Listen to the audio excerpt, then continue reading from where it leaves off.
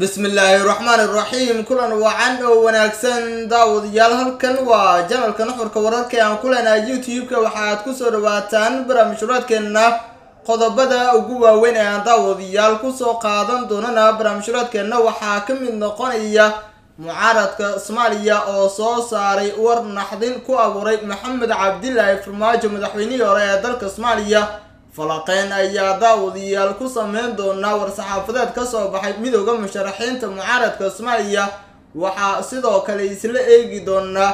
farmaajo waxa uu qorsheynayaa in uu ka hor yimaado banaanbax ay qorsheenayaan midooda mucaaradka soomaaliya kaas oo lagu wado in maalinimada khamiista uu ka dhaco gobolka banaadir. Haddaba mucaaradku waxa ay muqdisho ku soo daadgureynayaan ciidamadii badbaado qaran ee laga saaray islamarkaana la geeyey dhufaysadii ay kaga sugnaayeen gobollada shabeellada dhexe iyo shabeellada hoose falaqeen arrintaasi ku aadan ayaa daawadayaal halkan ku sameyn doonaa u n-ku waxay ku baaqayaan in xiisada la qaboojiyo islamarkaana lagu dhammeeyo wadahadal miiskana laisugu yimaado. Arrintaasi ma tahay mid uu cuntami karta ra'iisul wasaare roble iyo mucaaradka soomaaliya oo isku dhinaca halkan ayaa daawadayaal ku eegi doonaa oo aan ku falaqeyn doonaa waxaana isdul taagi doonaa caqabado fara badan oo ay villa soomaaliya ku hayso dadaalada ra'iisul wasaare maxamed xuseen rooble uu ku doonayo qabashada doorasho hufan xor iyo xalaalah daafuran islamarkaana ay u dhan yihiin saamilada siyaasadeed ee soomaaliya ha yeeshee inta aanan guda gelin waxaan daawaday kaa dalbanaya oon kaa codsanayaana muuqaalkana laag saarto la wadaagta asxaabtaada. Adigoo sabskraabi noo saaraya janalka oo furanaya gambalaalka si durbadiiba aad u hesho muuqaaladan halkan soo gelino sidoo kale daawaday muuqaalka qeybtiisa hoose ee faalada luu gudbiyay ee commentiga aragtidaada inagula wadaag markaana daawaday waxaad ku soo dhawaataa qodobadii dulmarka aa soo daawatay oo intaasi ka sii faah-faahsan anigoo ku bilaabaya. Mucaaradka soomaaliya ayaa qorsheynaya in maalinimada khamiista ah ay muqdisho ka dhigaan banaanbax culus kaas oo looga soo horjeedo madaxweynihii hore ee dalka maxamed cabdilaahi farmaajo oo muddo hal sano ah si sharci daraa ugu jira madaxtooyada qaranka ee villa soomaaliya. Weliba toddobiyo labaatankii disembar sannadkii idlaaday labada ku koob iyo labaatan isku day isku day afgambi oo u muuqday in uu dhicisoobay islamarkaana uu fashiliyey ra'iisul wasaare maxamed xuseen rooble. Fiqi oo banaanbaxaasi u qaabilsan dhanka iyo mucaaradka soomaaliya ayaa waxa uu ka jawaabay hadal ka soo yeeray caliyaare cali oo ku magacaaban guddoomiye ku-xigeenka amniga iyo siyaasadda ee maamulka gobolka banaadir kaas oo ku aadanaa in aan muqdisho lagu qaban karin banaanbax looga soo horjeedo maxamed cabdilaahi farmaajo oo aan fasax looga haysan maamulka gobolka banaadir. Wasiirkii hore ee amniga galmudug axmed macalin fiqi ayaa ka hadlay banaanbaxa saddex iyo tobanka bishan ka dhici doona magaalada caasimada ee muqdisho sida la qorsheeyey wasiir fiqi ayaa sidoo kale weerar afkaa ku qaaday xubnaha taageero farmaajo oo ah nin mudaxleedkiisu dhammaaday sideedii februari sannadkii dhammaaday ee labada ku koob iyo labaatan. Wasiirkii hore ee amniga galmudug axmed macalin fiqi ayaa sheegay in banaanbaxaasi oo dhacaya khamiista soo socota ay ogolaansho uga haystaan wasaaradda amniga soomaaliya isagoo wax lala yaabo ku tilmaamay in xubno ka tirsan gobolka banaadir ay ku goodiyeen in ay ka hortegayaan isku soo baxaasi. Farmaajo wuxuu galabta ka hadalshiiyey ninkii u qaabilsanaa caayda ra'iisul wasaaraha iyo wasiirka amniga. Waayahan oo dhan afgembi ayaa laga hadlayay halkee lagu arkay nin maamulka gobolka banaadir ka tirsan oo dhahaya ciidanka aniga ayaa amra. Malaha gobolka ayaa doonaya in uu ciidamada inqilaabo ayuu yidhi wasiirkii hore ee amniga galmudug axmed macalin fiqi sidoo kale fiqi ayaa sheegay in kooxda farmaajo ay ku xadgudbayaan dowladnimada soomaaliya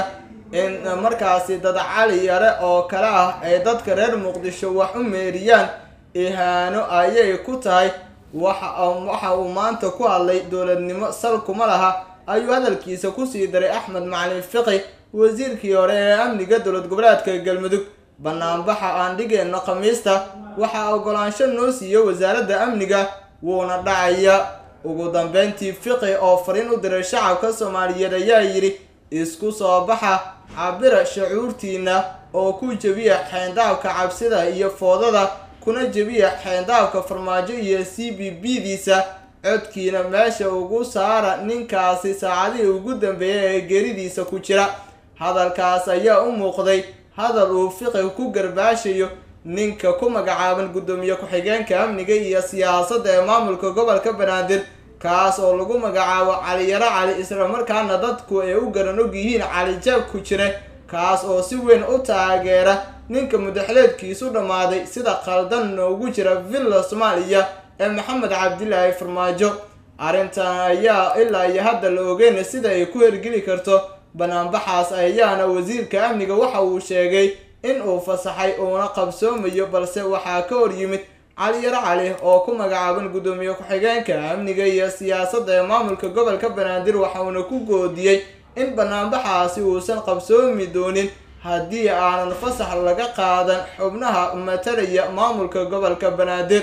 Ha yeeshee si walbay ahaataba mucaaradku waxay qorshanayaan markan in ay banaanbaxaasi gudagalaan oo maalinimada khamiista uu ka hirgalo gudaha caasimada soomaaliya ee muqdisho. Mucaaradka soomaaliya ayaana sidoo kale waxa ay ka hadleen oo ay bayaan ka soo saareen mowqifkooda ku aadan shirkii golaha wadatashiga qaran ee lagu soo gabagabeeyey magaalada caasimada ee muqdisho. Golaha midooda musharaxiinta mucaaradka soomaaliya ayaa soo dhaweeyey war murtiyeedkii ee ka soo baxay shirka golaha wadatashiga qaranka oo muqdisho ka socday muddo toddobaad ah midooda musharaxiinta ayaa ra'iisul wasaaraha iyo madaxda dowlad goboleedyada ku ammaanay tixgelinta la siiyey talooyinkii ay la wadaageen ee ku aadanaa sixitaanka habraaca doorashooyinka.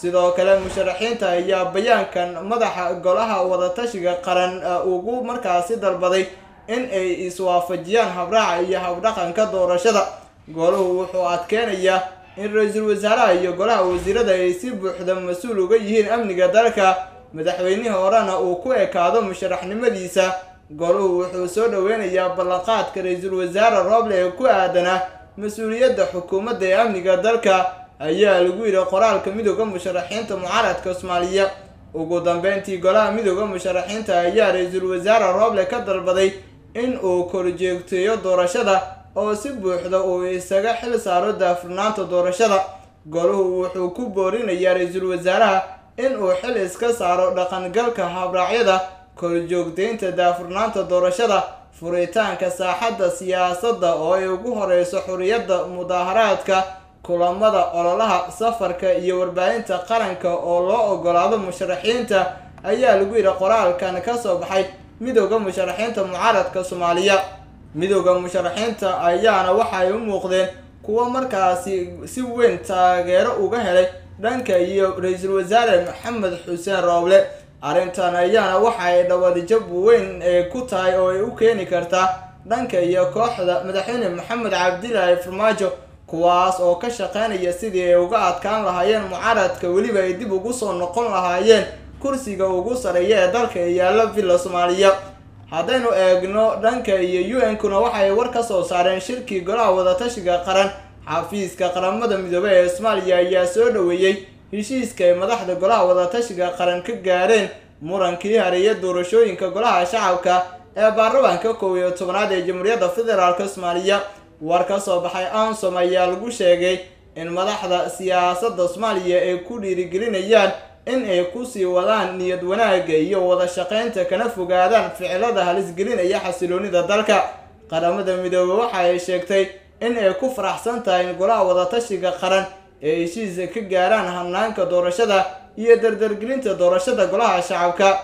Waxay ugu baaqeen in ay ka fogaadaan khilaaf kale islamarkaana ay keliya diradda saaraan sidii loo gebagabeyn lahaa geedi socodka doorashada iyadoo loo marayo hanaan lagu kalsoonaan karo. Waxay xuseen in hadda muhiimadda markaasi tahay dhaqangelinta go'aamada ka soo baxay shirka lixda maalin ka socday caasimada si loo helo natiijo lagu kalsoonaan karo marka la gaaro shan iyo labaatanka februari beesha caalamka waxay hore walaac uga muujisay xaaladda ay sababtay dib u doorashada iyo qalalaasaha siyaasadeed ee laga falkinayo xafiiska madaxweynihii hore ee dalka maxamed cabdilaahi farmaajo. Madaxda soomaaliya ayay hore ugu baaqeen in ay danta dalka ka horumariyaan wax walba ayna dejiyaan xiisada siyaasadeed ee kacsan iyo in ay ka joogsadaan daandaansiga ama adeegsiga xoogga oo wiiqi kara nabadda iyo sidoo kaleba xasiloonida dalka. Arrintan ayaa haddii farmaajo uu soo celiyo